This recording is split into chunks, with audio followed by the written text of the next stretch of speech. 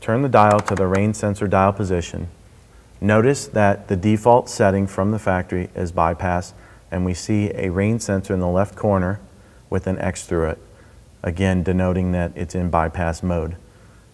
Use the plus key to set the status to active. Again, if you want to go between active and bypass, use the plus or minus key.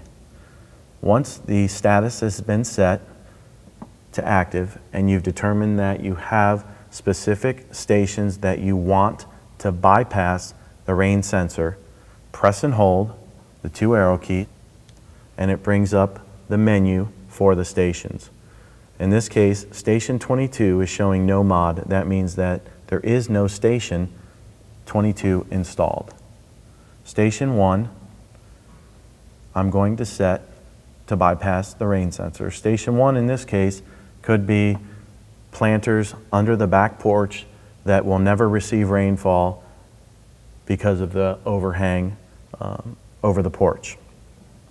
Use the arrow key to cycle to the next station and choose the plus and minus keys to set the status to active or bypass.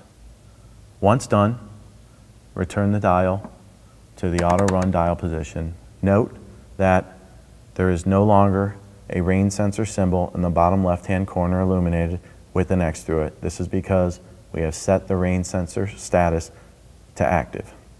That concludes our section on setting the rain sensor status from bypass to active.